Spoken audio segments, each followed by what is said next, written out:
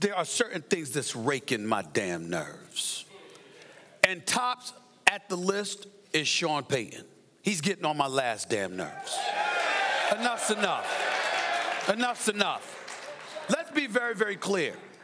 The Saints got robbed because that was a ridiculous no call. It should have been called. There was a helmet to helmet hit that was missed. There is no doubt about it.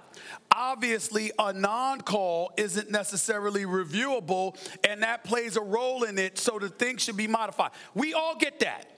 And we understand that the Saints have been victims. We get that. We've heard it from Michael Thomas. We've heard it from Drew Brees. We've heard it from a bevy of players. But I don't want to hear from Sean Payton's behind. I don't want to hear from him at all. And let me tell you why I don't want to hear from Sean Payton, the coach of the New Orleans Saints, because he's not being completely forthcoming. Let's be clear about something here. Did y'all know that Sean Payton became a member of the NFL's competition committee as of September of 2017? When we look at these officials that had to be at this game, and I got the names right here. Let me ask you a question. You think that Sean Payton didn't know who the officials were going to be before this game? Do you think that Sean Payton didn't know the rules before this game? Of course he did.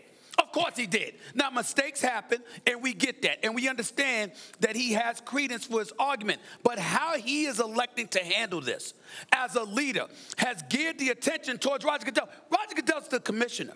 He's not the NFL official. He's not the official that was on the field that made the wrong call. He's the commissioner. What is he supposed to do? Say, okay, the outcome doesn't count. Y'all get back on the field and play the last two minutes over? What the hell is he supposed to do? There's not, listen, it would have been nice if Roger Goodell had come out immediately and said it was a bad call or whatever. But Sean Payton, in a post game conference, acknowledged that he had spoken to the NFL, that they had admitted their mistakes. And I don't recall the commissioner or the league office immediately coming out any other time Look. and talking about these things. All I'm saying is this nobody is, is, is, is, is denying that Sean Payton and the Saints got robbed. But right now, what is happening is that you're trying to delegitimize this Super Bowl 53. And that's unforgivable for Sean Payton to do. You're trying to act like because you're supposed to be here, hey, y'all, it don't matter that the Rams are playing the Patriots. It was supposed to be the Saints against the Patriots. So don't take the Super Bowl seriously. Damn that. You're past the ball. I got the numbers right here. The, the, listen, a run and play, uh, I'm sorry, an incomplete pass. You got first and 10 at the 13 yard line. There's an incomplete pass that Brees threw. Did y'all know that after Drew Brees threw that incomplete pass, Sean Payton called a timeout?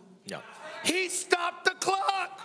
So you he he is not flawless in all of this. Look, there's there's there's and plenty, that's the problem. I here. agree with you. Sean Payton should stop complaining. Although eating Jenny's ice cream and watching Netflix just sounds like I don't know, like a Tuesday or a Wednesday. I don't know. You have to you have to lose a championship game for that to be the the, the, the thing you like do. Sounds like a great Saturday night. yeah, me. sounds like a great Saturday night. Exactly.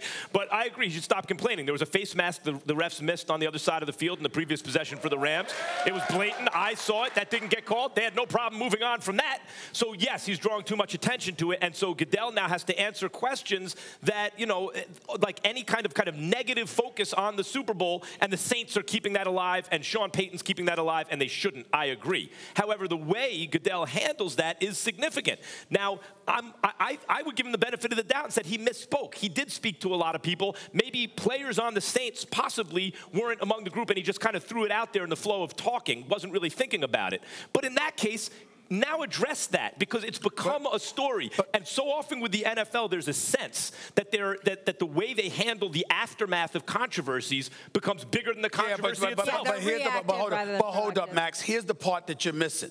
You're trying to tell me that Sean Payton going off like this, there isn't mm-hmm. some residue from 2013 when you were, or 2012, 2013, when you were suspended for the entire season for Bountygate, when you lied, when you sat up there and tried to go. Remember what I'm but trying Stephen to say. A, that doesn't, that, he's not responsible for what Goodell says. I'm getting to your point. we should bring up any gates in this Super Bowl. Let me, no, no, no. Yes, we can. Yes, we can. And the reason why we can is because Deflategate, Spygate don't have a damn thing to do with 2019. In the case of Sean Payton, the reason why Bountygate is relevant is because he is personally attacking the commissioner of the National Football League. But what now, does that have to do? Because it could be personal. No, no, no. But what it does that have personal. to do with Goodell's response? The issue right now is not Payton, I, I, agree with you. Payton let it go. You got breaks two in that game. You lost the game on, a, on an egregious missed call. It happens. Move on. This is still a story.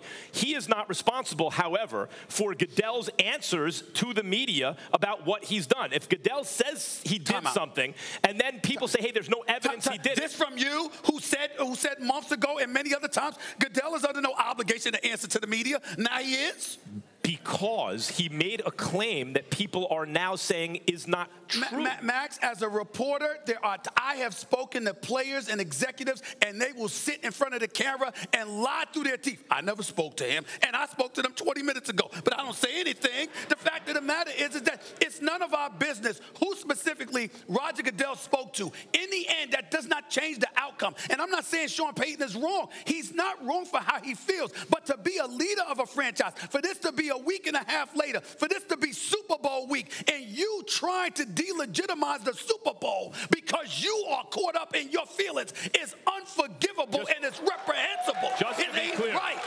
Just, He's not right. Not the players. I'm talking about Sean Payton. Right. He's I, not right. Yeah, I don't argue about Sean Payton. I said it right after the game. As I said, face mask wasn't called. What's the difference? That could decide the game too. Stop it. Is your position that Goodell shouldn't get out in front of this story and just no, say what he no, meant? No, no. I've been on the record stating that Goodell should have spoken up earlier. My issue is let's stop acting like whether he does or doesn't really impacts anything. It's over. Sean Payton is trying to act like somehow, some way, Goodell acknowledging it publicly no, is going to change things. It is not. That's